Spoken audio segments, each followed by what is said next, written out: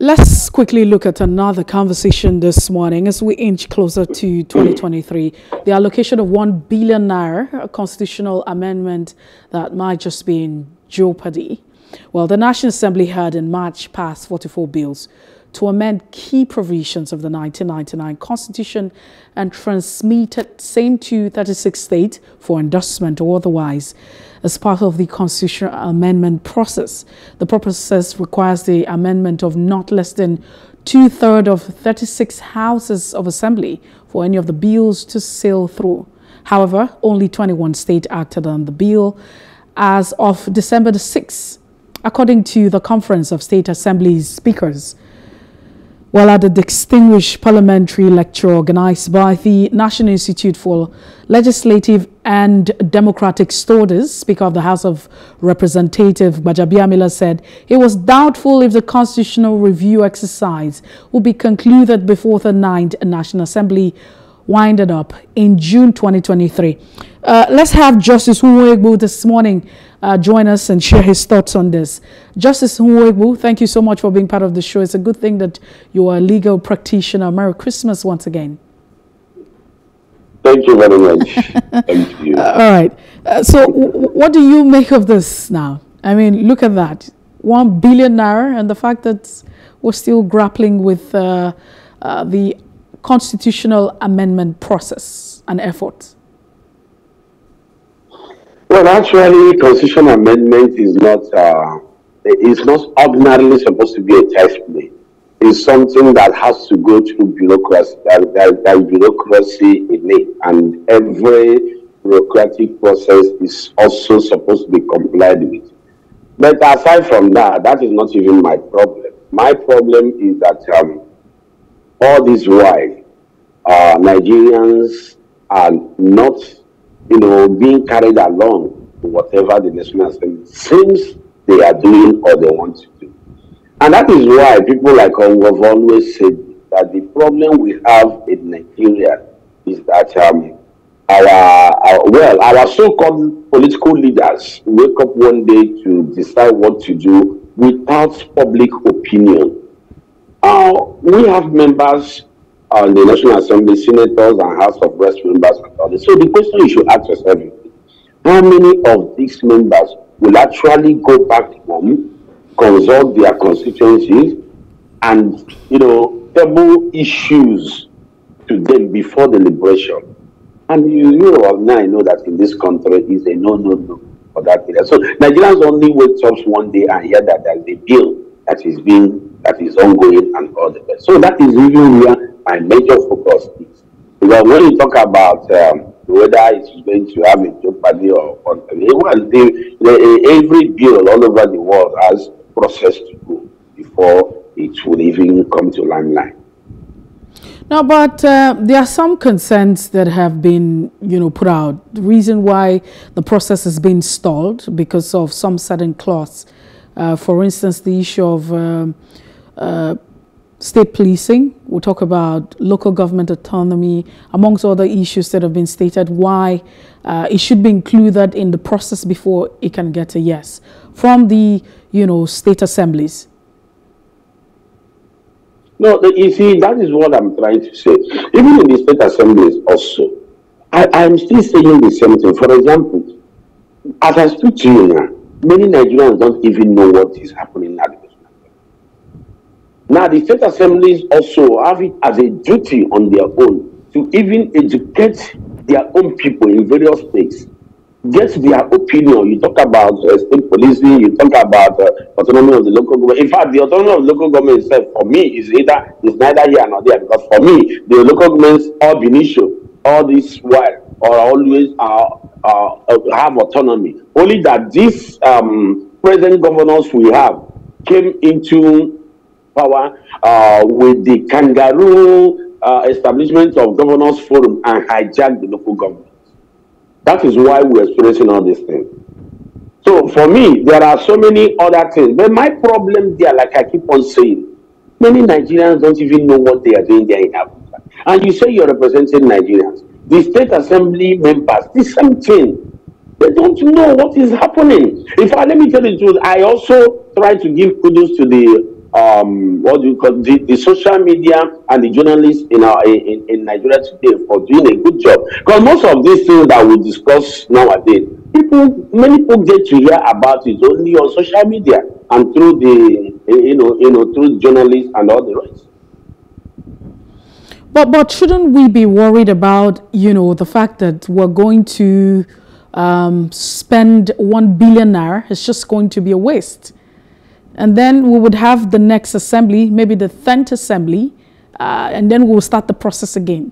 So we continue in the cycle of, you know, yes, I don't know what the target why. is. Uh, that, waste. Uh, well, that is why Okay, that's what I'm trying to say. That is why they will always want to do it within themselves without carrying the people along. Because they know that many Nigerians will oppose to some of these uh, policies they are bringing, some of this uh, expenditure, some of this waste and all the rest. Today, we are talking about hardship in the country. The economy is so bad. You know how much the dollar is today?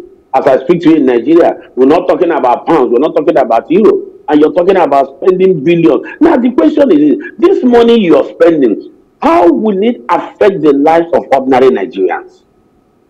That is just the thing. But they don't care, they don't want to know. Are they seeing it as a waste? They are not seeing it as a waste. They are seeing it as something that will benefit them. So they don't care. And not only them, even the various states of assemblies. That's a major problem and a major challenge. So, but if you have the state assemblies giving uh, conditions for, you know, conditions to act on the bills, why have these conditions not been considered? Especially when you look at these conditions um, and look at the interest of the people, it doesn't look like it's alien. It doesn't look like it's anti-people condition. Why have, you know, the relevant quarters not acted and given a yes to these conditions? Well, the truth is this: maybe um, you many Nigerians don't know what it's and for, for for some of us, no. As far as I'm concerned, they are just playing politics with the whole thing. At the end of the day, they will come to an agreement and have their own. In fact, as I speak to you, running government in Nigeria now is seen as a national cake. Both these various states as assemblies, when they try to, to drag something, they are looking for something. That's exactly what is happening not so sure than that. It's not as if that they have the interest of the masses. No. It's a capital no. Okay.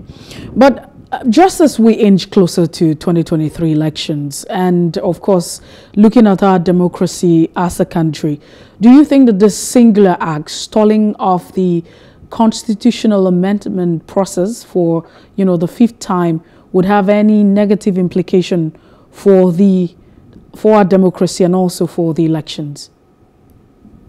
Well, the truth is this: uh, if it, you see, I keep on saying that uh, the major problem we have now, as of today, especially uh, in this dispensation, is what I call lack of sincerity of purpose. Because if there is sincerity of purpose, some of these things will not be happening. For example, there is uh, a constitution amendment, one way or the other, and uh, some of the amendments, yes, are okay. It's going to somehow, you know, benefit the masses. Because when you talk about making laws, uh, you're talking about laws that will be proactive, laws that will enhance the promotion and the you know, you know the progress of the country, the, the totality of the policies will, that will affect the people positively. That is the essence of making laws. And just like uh, uh, one of our legal jurists, uh, Professor Rusil, he said that the law is to harmonize with the society. The implication of that is this as the society grows, the law is supposed to grow alongside with the society. No, but when you see some of these things happening, you begin to get one interest or the other. For example, this issue of independent candidates that has been is part of the amendment. I do not see reason why this 2023 election the independent candidate thing wouldn't have been implemented. But that is the issue I was telling you about selfishness and people that do not have the interest of the mass. They know that if you try to bring it up to the limelight, many of the political parties will be, their powers will be watered down. The impunity that is uh, that, that, that has become a norm in our political parties today will go to an extent. So that is why you see some of these things happen. It's a thing of interest because most of the amendments today that you're seeing will also work against the majority of the so-called political leaders. And that is why you see some of these uh, problems building up and all the rest. And I bet you that at the end of the day, like we are seeing, this these amendments might not see the, the, the might not see the limelight until the next National Assembly comes in force. And it may also drag for a long time. So how are we even sure that even the next assembly that will come will even take it up? So, in other words, uh, it's not very visible that you know the Ninth Assembly will meet up. Of course, uh, we're still looking at you know some time before 2023 is you know over. June precisely, 2023. You see, when bill, of course, you know uh, the bureaucratic process in um, bringing up bills, um, going to the first reading, second reading, and, and uh, all the way before it goes to committee stage and blah blah blah. And uh, if actually they are serious, with or without the uh, the, the president, uh, you know, giving his assent, the National Assembly knows what to do. Two-third majority can go ahead and pass the bill. But has it ever happened in this country before? And the answer is no. And why? Because, like what Fela used to say, paddy paddy government there's always a party between the between the executive and the and the legislatures in the country. And that is why you see some of these things happening. We have pushed and moved totally and entirely away from the doctrine of separation of power propounded by Montesquieu. And that is why Nigeria is being affected today. That is why nothing is working in this country. Justice Uhuegbu, uh, we have to go, but I'm sure that you probably have, you know, word for the National Assemblies across the federation of the country. Well, the truth is, it's not an indictment, but to me, I don't even trust, I don't even have confidence in this National Assembly, this current, this present one. I don't. So what word will I, am I going to tell them? All this while the Nigerians have been talking, have they done anything? So they see it as their as their father's property. They see it as something they can pocket because they have already pocketed Nigerians with the executive. So what, what do you expect? What do you expect? So what more would I tell them now for them to listen? We have been talking. Nigerians have been talking, shouting. Have they listened? That is what? Impunity to the highest order.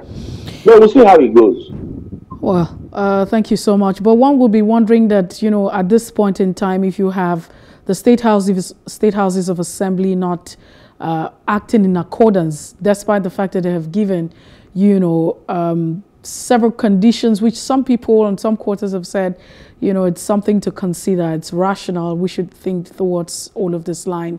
But if you talk about impunity, does the system itself not have a mechanism, you know, to correct all of this impunity? Uh, what happens yes, to the executive arm of government? Uh, is there yeah, any interference? It, it, is there anything the judiciary can do? What exactly can the various arms of government do in order to court and curtail all of this impunity? Yes, he's supposed to have. Just for example, let me give you an example. The EFCC is there, the ICPC is there, the Code of Conduct, and all the rest. But the truth is this. For example, let me take EFCC as an example. Do they have the the, the, the, the, the will a will to do the needful by prosecuting high profile politicians in this country with or without favor. That is the problem we're having. Some of these institutions you see they are just, you know, on the surface. So we know what is happening. If not, and that is why I said, if you remember, the major problem we have in Nigeria is that, is that we have not institutionalized the system. I don't need to be the EFCC chairman for me to do the needful. All if right. the system is working, whoever is the EFCC chairman will do the needful. In fact, it's not the EFCC chairman that is working, it's the system that will work. And that's why they are killing the system. Justice Uhuegbu, thank you so much for your time always. Uh, we wish you a Merry Christmas and a prosperous New Year. Thank you very much. And you people too over there. All right then. And that's the size of our conversation this morning on the, the breakfast. Thank you so much for joining us this morning. Uh, we will definitely return tomorrow with more interesting headlines. If you missed out on any part of the conversation, it will be fine to follow us on Facebook, Twitter, and Instagram and subscribe to our YouTube channel.